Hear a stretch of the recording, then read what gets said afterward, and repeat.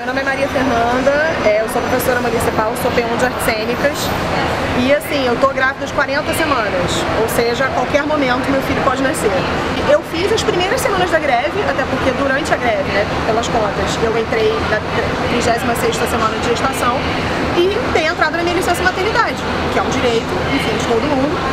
E assim, eu tive um desconto de mais 1.200 reais no meu contra-cheque, inclusive pelos meus cálculos. É superior ao tempo de greve que eu fiz. E a qualquer momento meu filho pode nascer e eu não tenho um centavo.